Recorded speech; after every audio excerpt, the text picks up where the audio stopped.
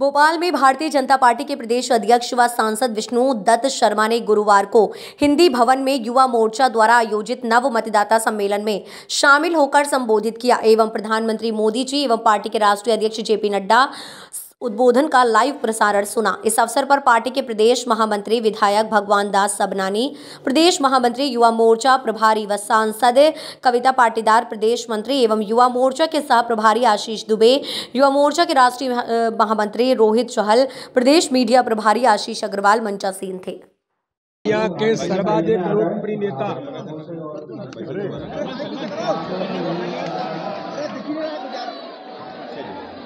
आज भारत के प्रधानमंत्री, दुनिया के सर्वाधिक लोकप्रिय नेता माननीय नरेंद्र मोदी जी ने भारत के आज करोड़ों नव मतदाताओं को नमो नव मतदाता सम्मेलन में आज संवाद किया है।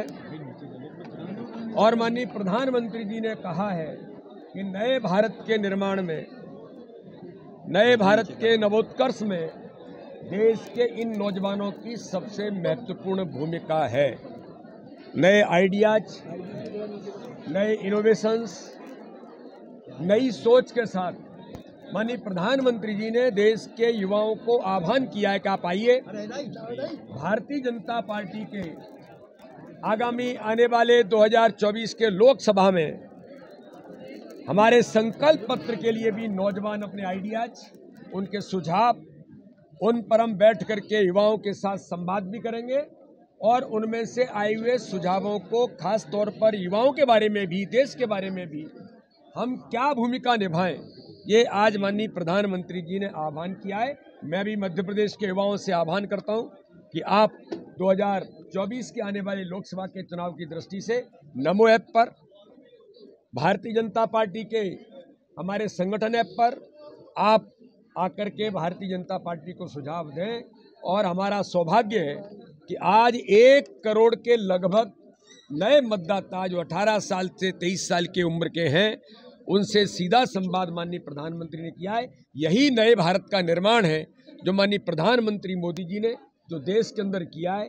आज उन नौजवानों के बीच में भी माननीय प्रधानमंत्री जुड़े हैं। मैं पुनः प्रधानमंत्री जी का धन्यवाद और अभिनंदन करता सर लोकसभा को लेकर एक नई अभियान चला रहे हैं। गाँव चलो अभियान क्या कुछ कार्यक्रम रहे? भारतीय जनता पार्टी आगामी आने वाले चुनाव की दृष्टि से गाँव चलो अभियान हर नेता भारतीय जनता पार्टी का हर कार्यकर्ता 48 घंटे उसे अपने एक गाँव में 24 घंटे उसको एक गाँव के अंदर रहना है।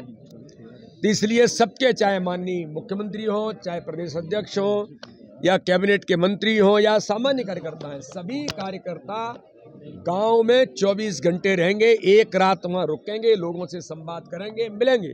तो गाँव चलो अभियान, आज हमारी बैठक है, उसकी हम व्यापक तैयारी करेंगे।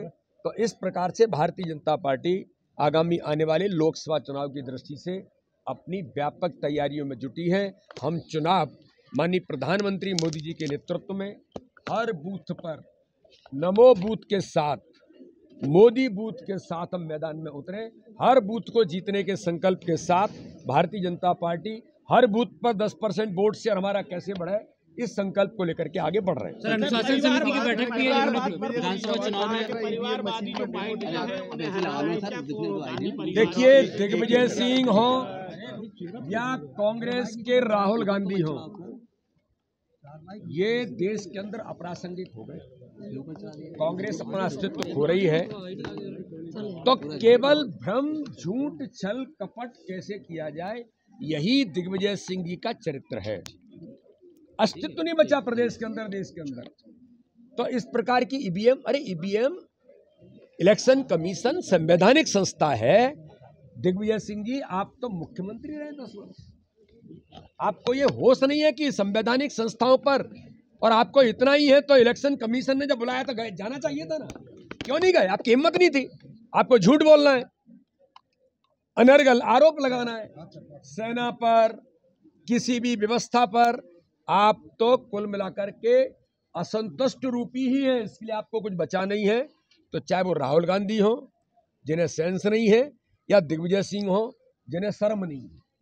तो इसलिए ये ऐसे लोग हैं जो दिन भर झूठ बोलेंगे, लेकिन देश की जनता, आज माननीय प्रधानमंत्री मोदी जी के नेतृत्व में केवल भारत नहीं, दुनिया आज गौरवान्वित है और दुनिया को एहसास हो रहा है कि नए भारत का अभ्युदय हो रहा है, नए भारत का नव निर्माण हुआ है और माननीय प्रधानमंत्री जी ने कहा है कि आगामी आने वाले दो ये भारत के उत्कर्ष का समय अमृत काल का समय शुरू हुआ है, इसमें आए सभी सम्मिलित हो दिग्विजय सिंह जी भी सम्मिलित हों।